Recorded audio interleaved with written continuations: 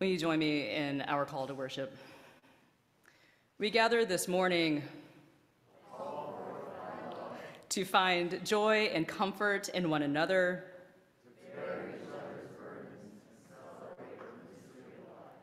Come, let us worship together.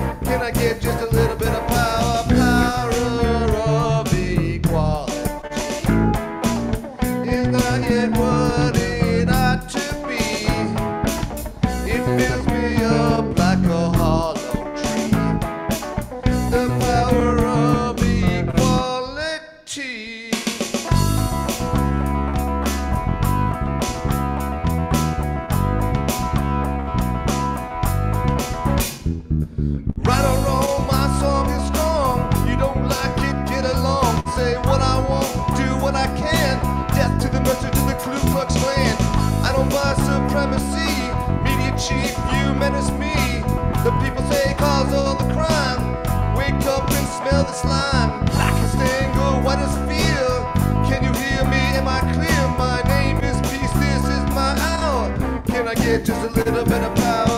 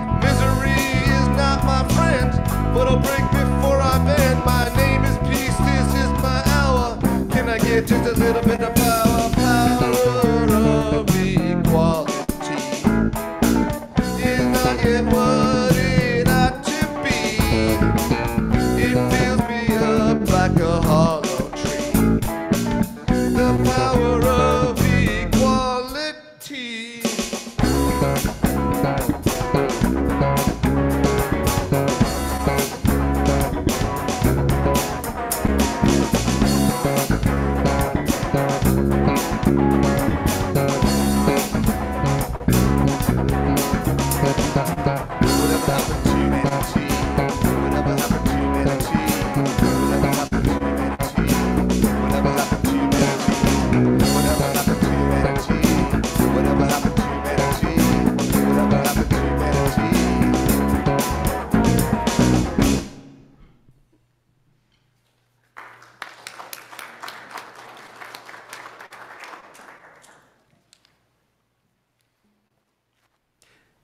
morning's chalice lighting, To be a Unitarian Universalist, is written by Erika Hewitt.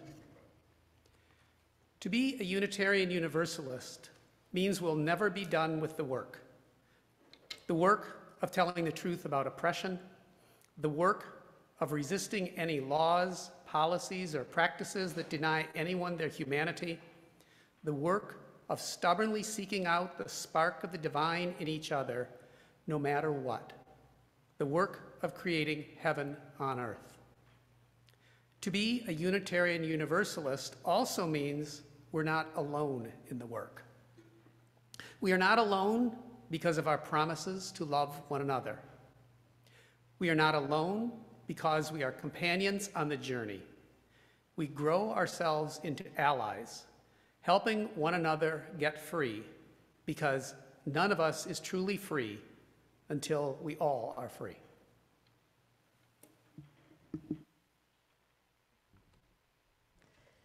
Please rise in spirit and body to sing our first hymn this morning, I Know I Can.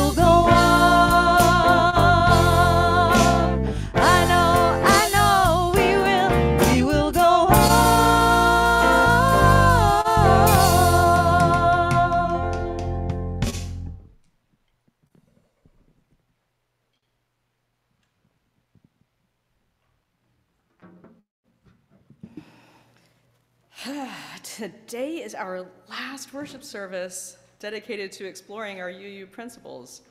You believe that? We've been doing this all year. Today is our congregational vote on the eighth principle just a few hours from now. So we have visitors today, and I'm so glad you're here and you're joining us mid-conversation.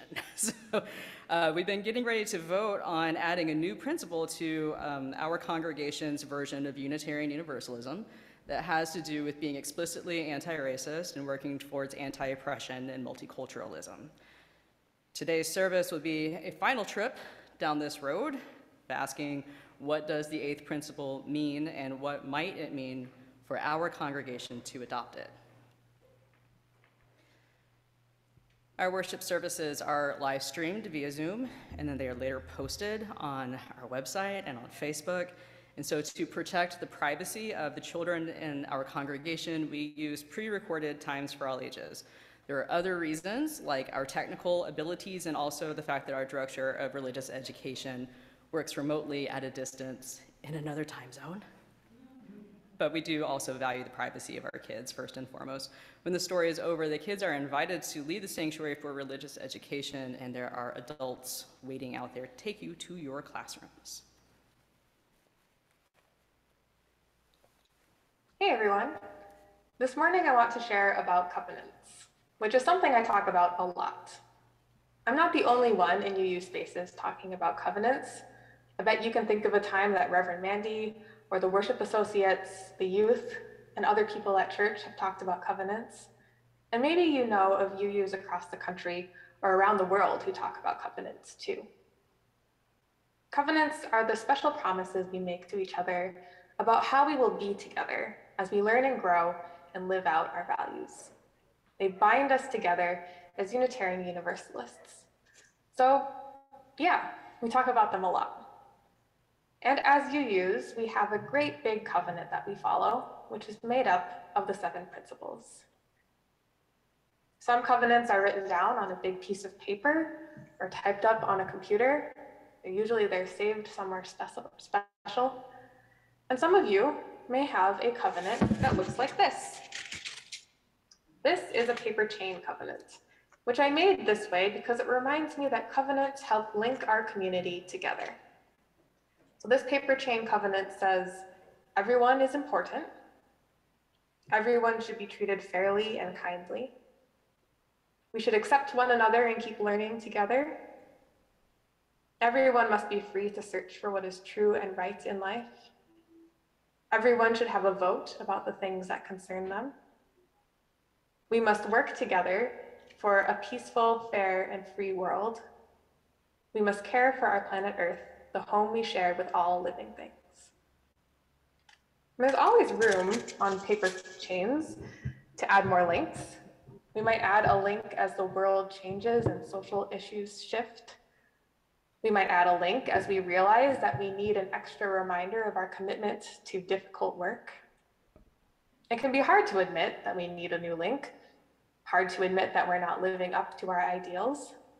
And the decision to add a link comes after a lot of discussion and reflection. Well, I'm going to add a link to my paper chain covenant right now. This pink one is the proposed eighth principle, which isn't officially part of our UU covenant at the moment, but it may be soon. And many UUs have chosen to follow it anyway. So this link says, we work together towards beloved community and against racism and oppression. I will add it on the end of my link.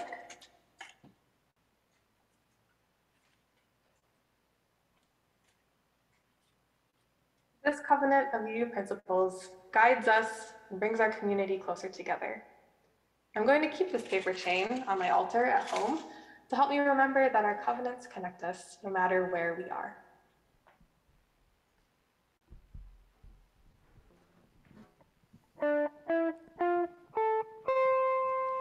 For you shall go out in joy,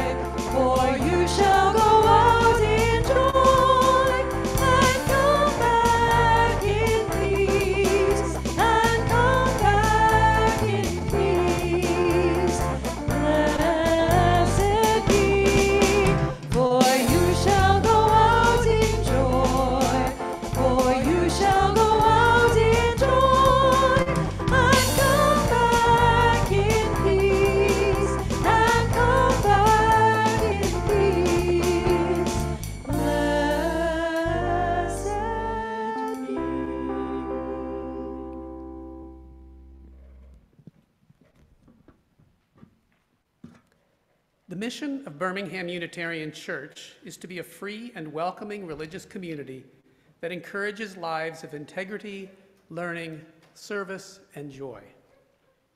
One way we live this out, this mission, is by giving half of our weekly offering to a nonprofit organization that shares our values and addresses needs in one of these areas environmental action, economic justice, civic engagement, and racial justice.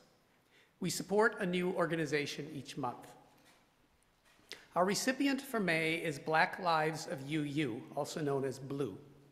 Since its inception in 2015, BLUU has grown to be a place where Black UUs can expand their power and capacity within our faith, minister to the particular needs of Black UUs, and work together for justice and liberation. This morning's offering will now be received with gratitude. I invite the ushers to come forward at this time.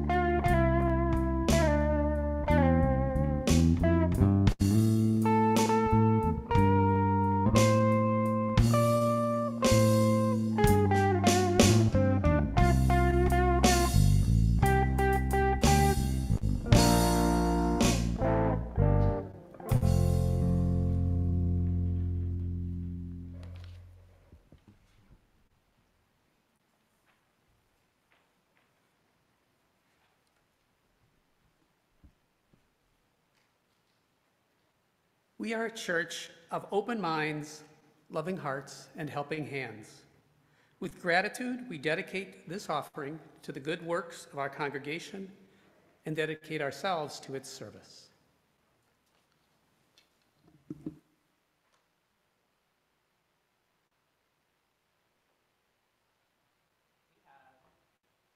We have an exciting and a joyous occasion today. Church in 2022 is uh, weird.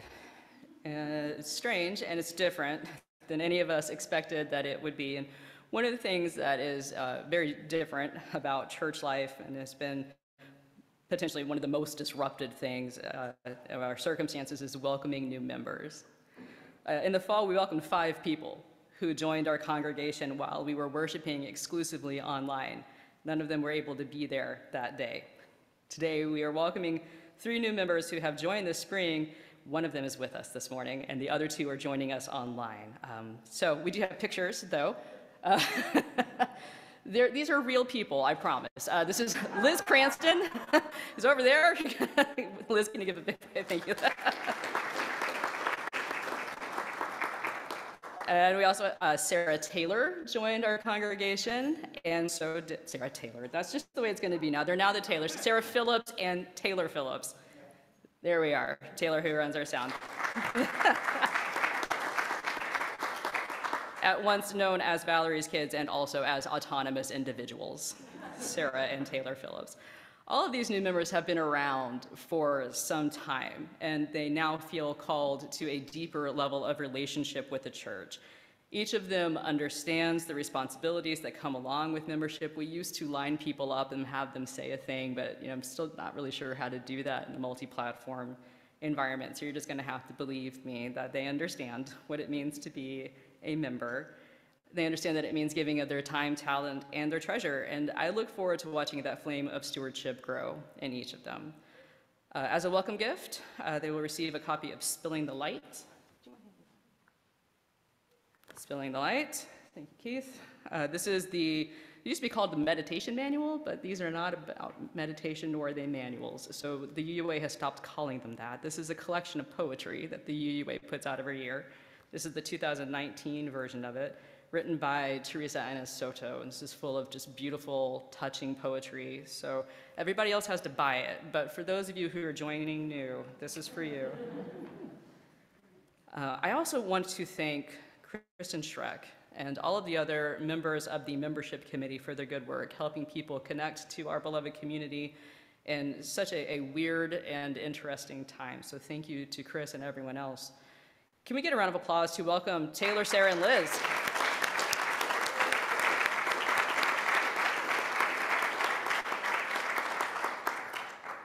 Welcome. Welcome to a place where you were raised. I don't know. Welcome. And that brings us to the time in our service that we set aside for prayer and meditation. Uh, nobody submitted joys and sorrows for today, although I think we all know that we hold those on our hearts. I do want to make a follow up. Last week, it was Larry Freeman's granddaughter, Maya, who graduated from Washington State University, not Larry Larson. And I am not the first person to make that mistake. I just want to, it was Larry Freeman, not Larry Larson.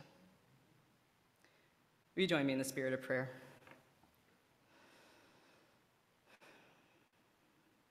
Spirit of love and life, mystery that moves through and in and around and among and through us, we gather this morning as a community of people dedicated to love and to life. We are dedicated to each other, to this congregation. We want to understand the world around us. We want to stand, understand each other. We want to understand ourselves better. And we know that we do that work best when we gather. All around us, life is returning in its most lush and verdant way. There are blossoms on trees, there are flowers on the grass. Around us, life springs forth. We have come as a species to a time of confusion and difficulty and turmoil. Let that life that springs forth around us spring forth within us.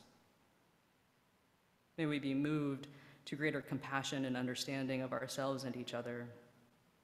We stand before the altar of life.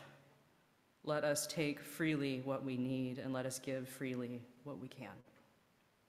And let's hold each other in love. Let's hold each other in hope. Let's hold each other in joy.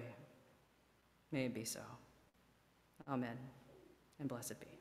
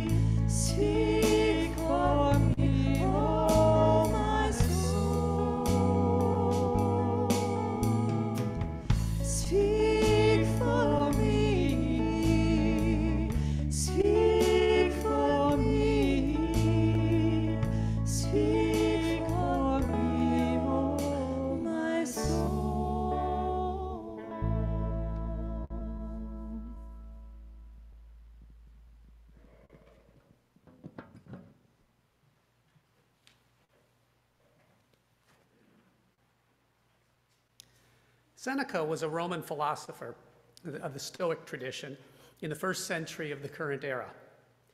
Some have said of him that he was hypocritical given his political activity in support of the Emperor Nero.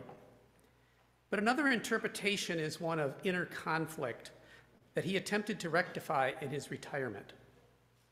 He was someone who realized that he had to change, and he did something about it. He was in his retirement years when he made some of the most important changes. His example challenges us to act no matter where we are on life's journey. He wrote letters to Lucilius during his retirement years. I find the following passage about partnership a fitting challenge as we look at what is happening in the U.S. today.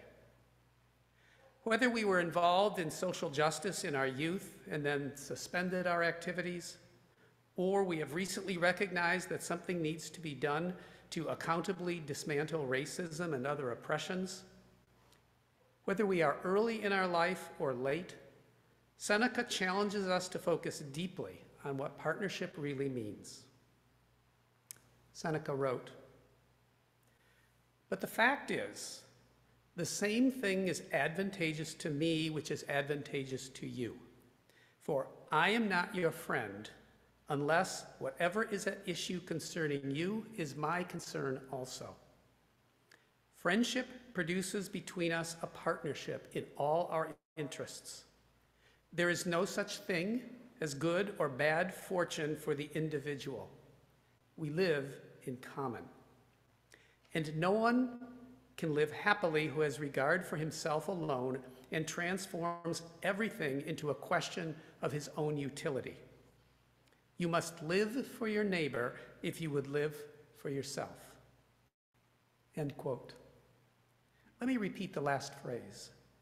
You must live for your neighbor if you would live for yourself.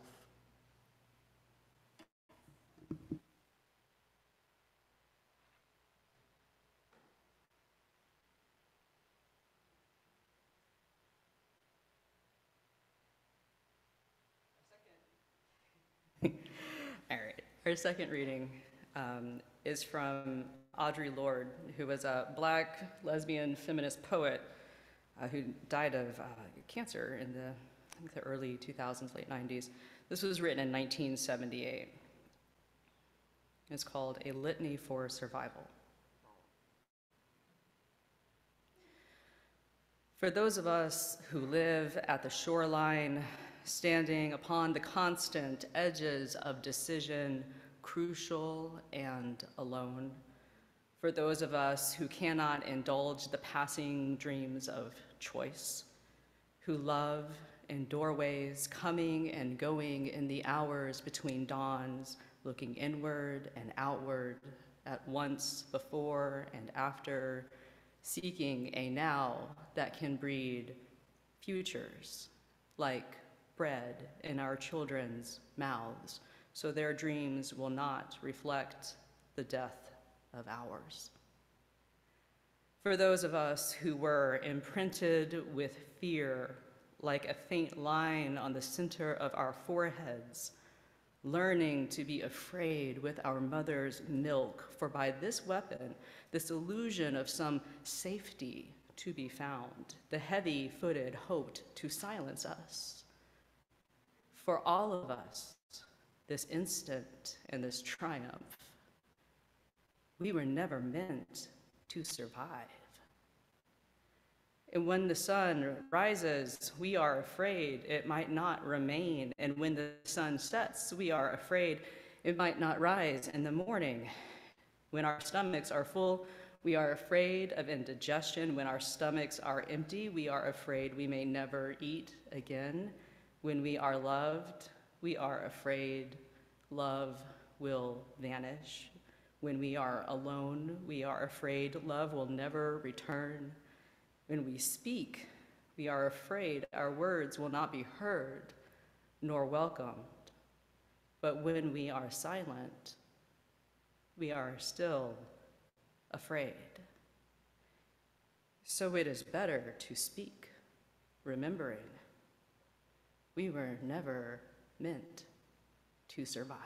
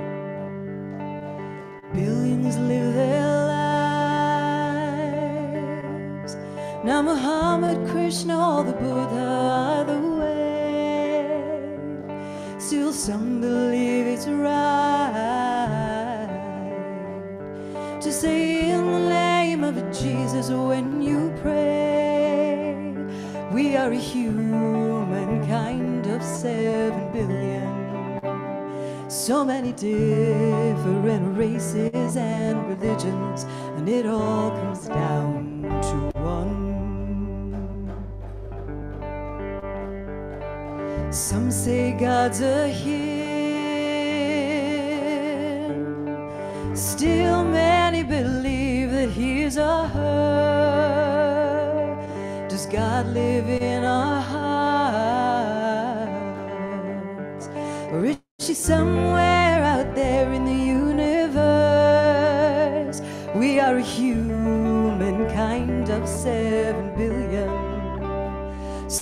Different races and religions, and it all comes down to one.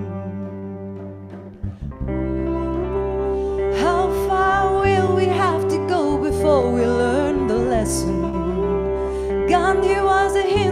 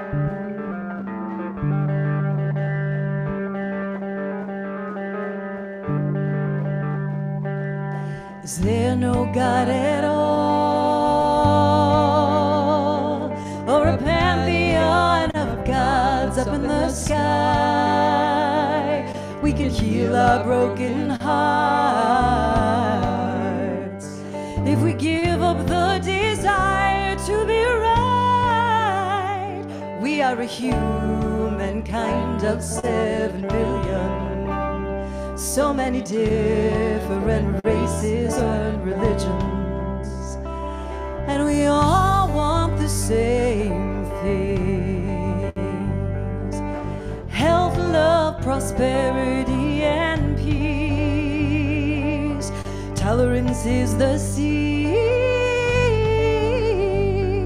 and the gift of pure acceptance is the tree. We are a humankind of seven billion. So many different races and religions, and it all comes down to one. Well, you are red, brown, yellow, black, or white. With a wife. We can debate until the end of time who's wrong and who is right. Or we can see ourselves as one.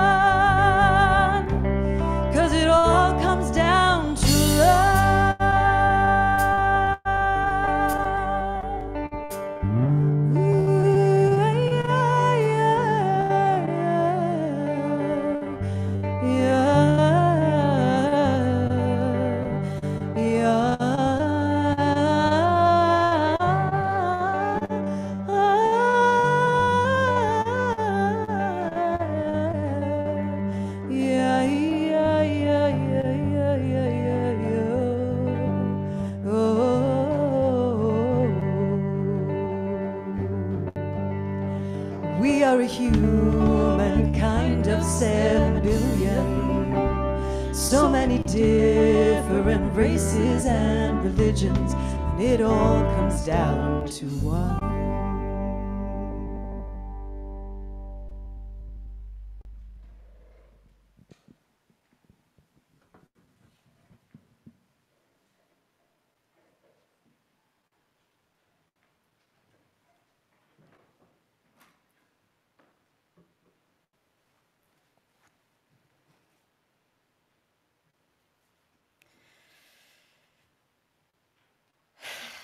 Today is a really important day. It's like a really, really important day. This afternoon will be a congregational meeting during which we will exercise our fifth principle commitment to the democratic process. We have spent an entire worship year exploring our Unitarian Universalist principles, considering their history, how they interact with each other, what they might demand of us as Unitarian Universalists. And concurrently, we've had two teams of congregants working on proposals that address pressing issues in the life of our church and our association. And in just a few hours, we're going to vote on those proposals. We'll make a statement about who we are. However, we vote, we make a statement about who we are. And we potentially commit ourselves to action, ongoing, like we're really going to do it, permanent action. The seventh principle project is a plan to provide advice and guidance for the Board of Trustees and myself as we build budgets and we undertake plans to reduce BUC's use of non-renewable resources. The Living the Pledge team and others have been working to raise awareness of the fraught intersection of race and Unitarian Universalism and the hopes that you will vote today to adopt the eighth principle. Those are two major undertakings that have actually been years in the making. I could not be more proud of the lay people who were the ones who did the heavy lifting on that. So thank you. There were meetings this past Tuesday and the one before. You give folks a chance to ask questions, express any lingering concerns. We also had our first open question session for the board and I to hear feedback about the vision of ministry that we've set. The vision that will guide us for the next two church years is threefold foster a stronger culture of engagement, stewardship, and fellowship, direct our resources and our decision making toward fully and explicitly being anti racist, anti oppressive, and multicultural, and meaningful, commit to meaningful action to, I think we need to work on the wording. So we said to achieve net zero consumption of non renewable resources. I think what we mean is reduce our non renewable resource use. The board and I feel that the current energy of the congregation is in line with these three statements, and almost more importantly, potentially, we think our future is in line with those three statements. More fun, work on racism and oppression, do the right thing by the environment. I went to those three question and feedback opportunities excited to hear uh, people's perspectives about how we might go about doing these things, and I did hear that, but I also heard some hesitance, specifically about the eighth principle. And that's not bad, and it's not wrong. I think it's normal to have hesitance about changes. I think that that hesitance is it's just data, right? It doesn't mean you're not ready. I think it means you understand this is a big deal. You're taking it seriously. As we've progressed each month through our Unitarian Universalist principles, I have spent sermons and newsletter articles talking about the theological perspective and imperative I feel that there is for anti racist and anti oppressive work in Unitarian Universalism. We really can't affirm and promote the inherent worth and dignity or justice, equity, and compassion and human relations, or a world community with peace, liberty, and justice for all. We can't really do that unless we are intentionally and actively engaged with understanding and rooting out systemic injustices within Unitarian Universalism. We can't do UUism out there if we're not doing it in here. I've also spent sermons talking about how adopting the eighth principle fits with the historical arc of Unitarianism, Universalism, and Unitarian Universalism. After decades of fits and starts, the Unitarian Association of America and the Universalist Church of America officially merged on May 15th, a week ago, back in 1961. It was the youth of those two denominations who led the way. They merged first and founded the Liberal Religious Youth back in 1954. To quote Bob Dylan, they didn't need a weatherman to know which way the wind blew. Our youth group adopted the eighth principle last year. History has shown that our young people often figure things out before the rest of us. The Unitarians and Universalists did merge in 1961 and in 1963.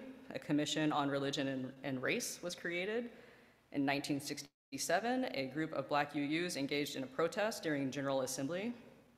Racism has been with Unitarian Universalism from its beginning. And so has anti-racism. We've spoken, not this year, but in the past, about James Reeb, a white UU minister who was martyred in 1965 during the Selma to Montgomery March. The arc of UU history indicates that it's time for the eighth principle. We have history to support that we care about this and we know how to do it. So we talked a lot about the historical and the theological aspects, and that's a very high flyover. We've spoken some, not as much, about the process and the mechanics of the eighth principle. First, I think it's important to know that the seven principles are not set in stone. It's not doctrine, it's covenant. Covenants are meant to change and develop over time, as Nico told us during the Time for All Ages today. There used to be seven, or sorry, six, there used to be six principles. The seventh was added to be more inclusive of neo pagan UUs and to address growing environmental concerns. Also, the wording has changed over time. As Mary Jo Ebert pointed out in presentations the past couple weeks, the original language was all like brotherhood and mankind because of the time in which it was written. It's centered Judeo Christianity, right? Covenants need to be updated. The time has come. Adopting the eighth principle is a congregational commitment similar to that of being a welcoming congregation or a green sanctuary. Those programs allow congregations to earn a designation and a, and a certificate in a justice area, specifically LGBTQ inclusion and environmental concerns, respectively. One of the struggles with that designation model is that many congregations treat them like a one and done. Over the years, the terms welcoming congregation and green sanctuary congregation tend to lose their resonance in congregations. It's actually very common for churches to completely forget what the term welcoming congregation with capital W and capital C mean. And partly that's because of the name, when welcoming congregations first began, the creators were too uh, timid to use the words gay and lesbian. So they went with the more ambiguous term, welcoming congregation. Lots of churches went out, became welcoming congregations, totally forgot what welcoming congregation meant. Another issue with the designation model is the ever changing nature of justice work, that one and done mentality. What sufficed as appropriate work for lesbian and gay inclusion when welcoming congregations began in 1989 no longer fits today's needs. The same is true of the Green Sanctuary model, which also began in 1989. What was once considered strident action is now pretty paltry. In 2022, we're working hard on our comfort level with a wide range of pronouns and we're choosing a web host based on carbon emission offsets. Those two things were not on the radar in 1989. It's a different thing nowadays. Justice issues change. And the language of the eighth principle calls us to continually and accountably engage with that change.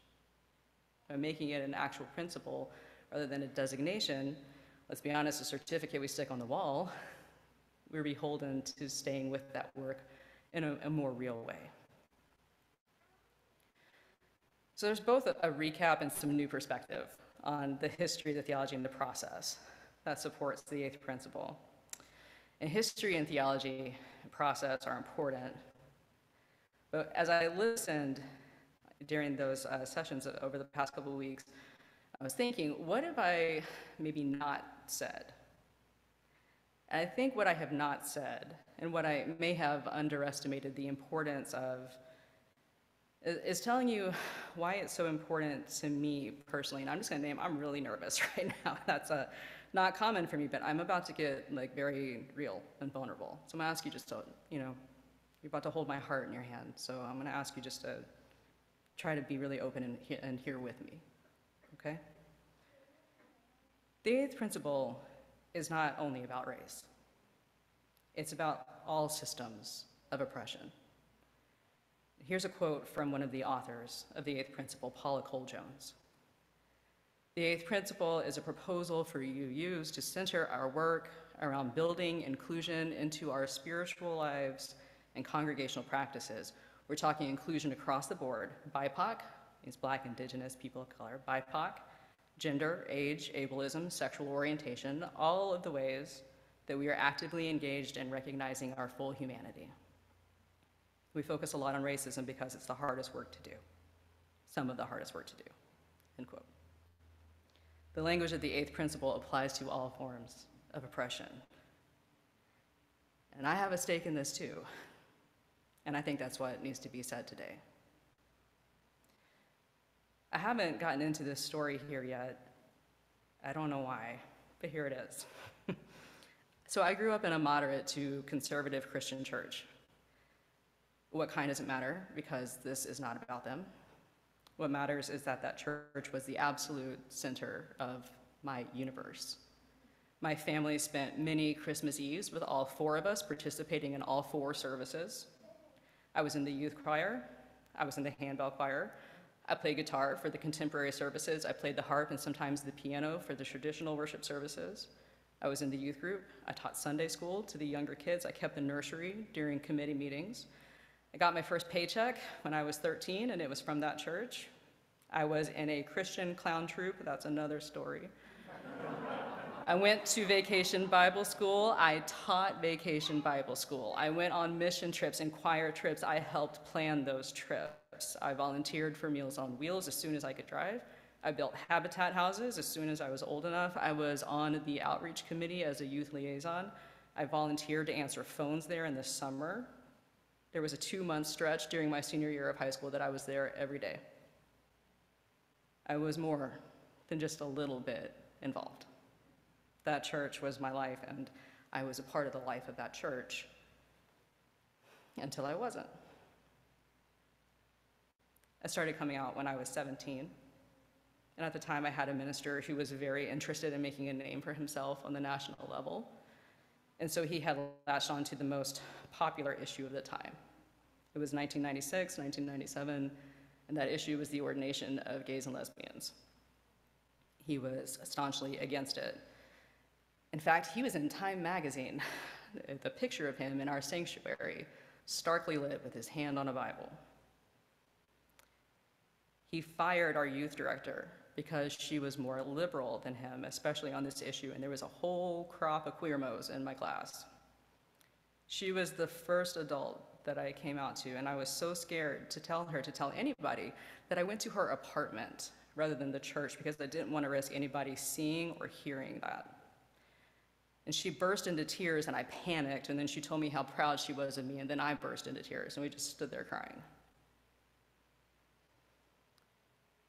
It gave me some of the fortitude that I needed to come out to my parents, and things were bad.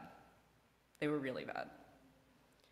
I'm old enough now, and I've had enough therapy now to know that my parents were uh, very ill informed about the LGBTQ community and that they were ill prepared to welcome a queer family member. But at the time, I just thought that there was something uh, fundamentally wrong with me, and it wasn't their fault, that they couldn't love me anymore because I was the one who couldn't stop it.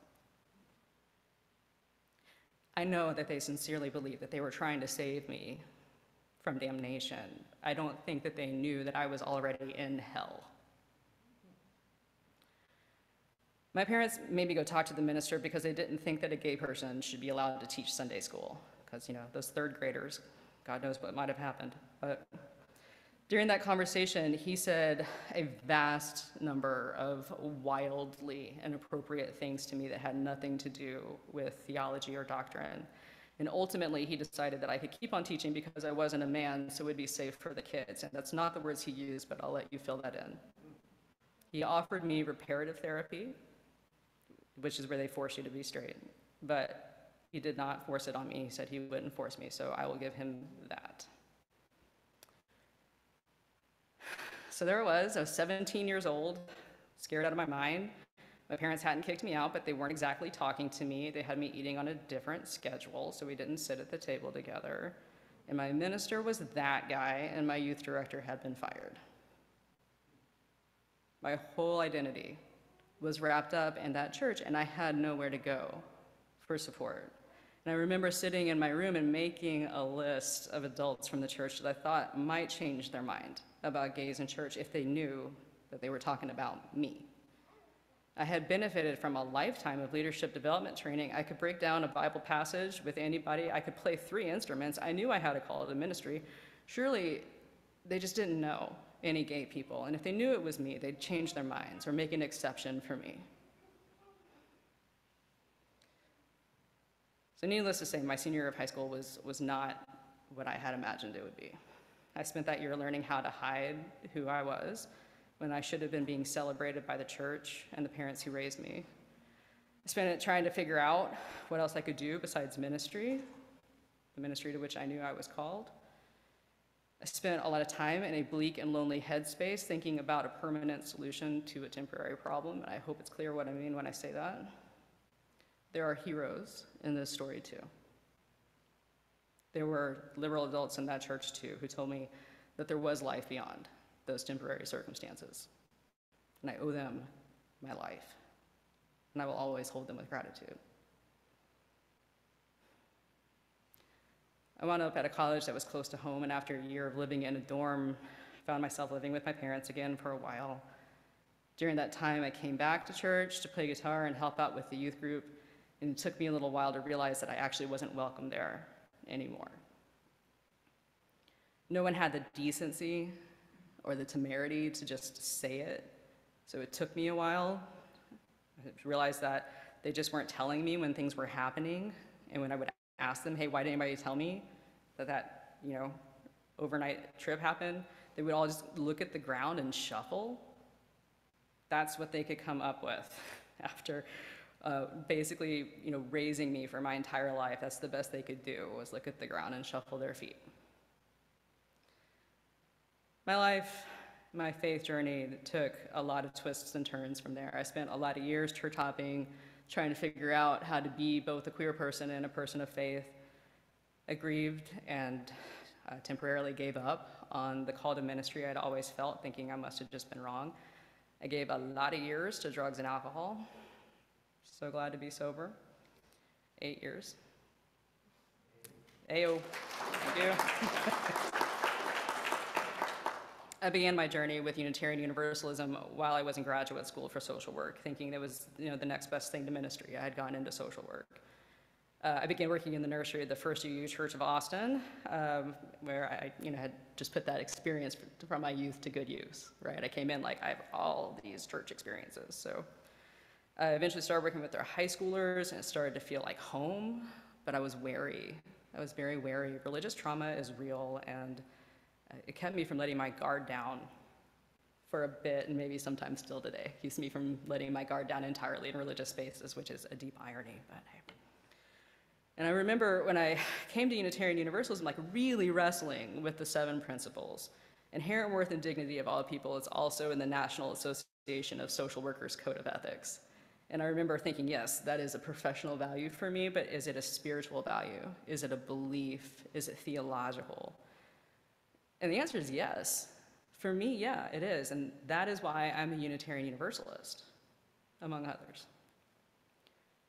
Social justice is the cornerstone of my Unitarian Universalism because I know what it is to experience the disillusionment and the pain of churches saying that everyone is welcome, but recreating cycles of oppression because they aren't actively engaging with anti oppression work. I know what it's like to be told that I'm welcome and that I belong, sometimes with a capital W welcome, but also have it communicated in ways that are subtle and not so subtle that I'm welcome as long as, as long as I dress a certain way, speak a certain way, hold my body a certain way. I know what it's like to be welcome in a church as long as I do the work of fitting in and making sure that everyone else feels comfortable around me. Racism and oppression have hurt our association and they have caused our association to hurt people. When we say that we're open to everyone, and that we affirm the inherent worth and dignity of the individual without pairing that with intentional anti racist, anti oppressive work, then we have failed or lied or both. Because we push people away without even realizing it. If we don't take an ongoing practice of understanding where is the justice work now, we can't hope to actually be who we say we are. There will always be a 17 year old kid in me making a list of people who may not think that I'm going to hell. A kid who is confused about how a loving God could make her gay only then to send her to hell. And I'm here to tell you and everyone there is a place at the table of life for everyone. For everyone. God does not send people to hell. There is no hell. People find ways to use religion to their own ends. They wrap up their own biases and the power of the church and they call it theology. I have not been damned to hell by a cruel God, but I will be damned before I let a church that I'm a part of repeat that cycle of othering somebody. There is a life saving, life giving message in Unitarian Universalism, and I will see that that message gets to everyone who wants it and probably some people who don't. There is a place here for everyone, for everyone. We have to start journeying towards spiritual wholeness by working to build a diverse, multicultural, beloved community by our actions that accountably dismantle racism and other oppressions in ourselves and our institutions. Beloved, it is foundational to Unitarian Universalism that we do not have to agree. When the time comes this afternoon, you should vote your conscience. That is our fifth principle, the right to conscience and the use of the democratic process. Exercise that today to the fullest, however you feel. Regardless of how you vote today, I am and I will still be your minister. Relationships are the core of Unitarian Universalism, and we will figure it out. But I think we're ready. I do, I really do. I think we're ready as an institution, as individuals, as a congregation. I think that BUC is a leader for other churches in the area, and it's time for us to make a bold statement. I think we have a history of taking risks for justice, and that this is just the next one in line. I think wrestling with oppression leads to becoming more multicultural, and that is the key to our future, and the key to us really being who we think we are. I think it's time.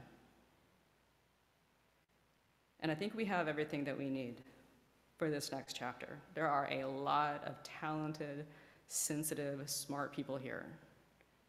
We can do this. I really do. I think we can do this together. May it be so. Amen.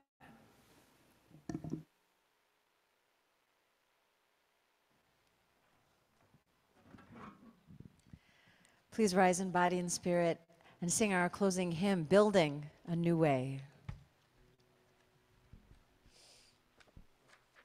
Thank you.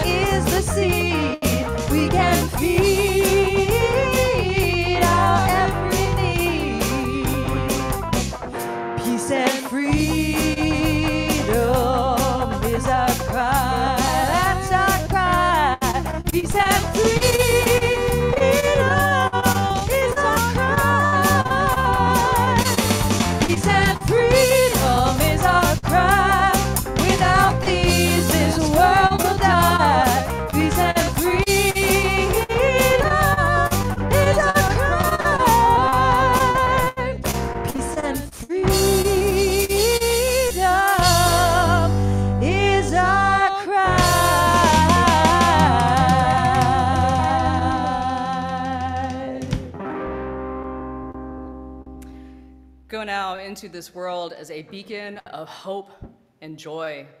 Go in love, go in peace. Now that our worship has ended, our service begins. May it be so. Amen and blessed be.